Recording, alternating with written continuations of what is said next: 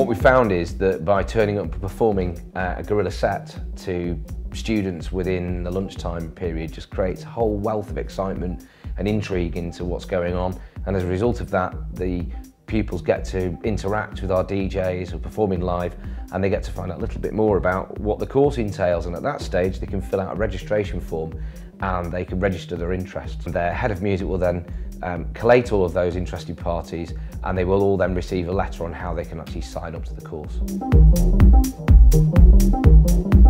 One of the most important things for future DJs is to ensure that our tutors not only have great experience as DJs, but also the interpersonal skills to work with young people.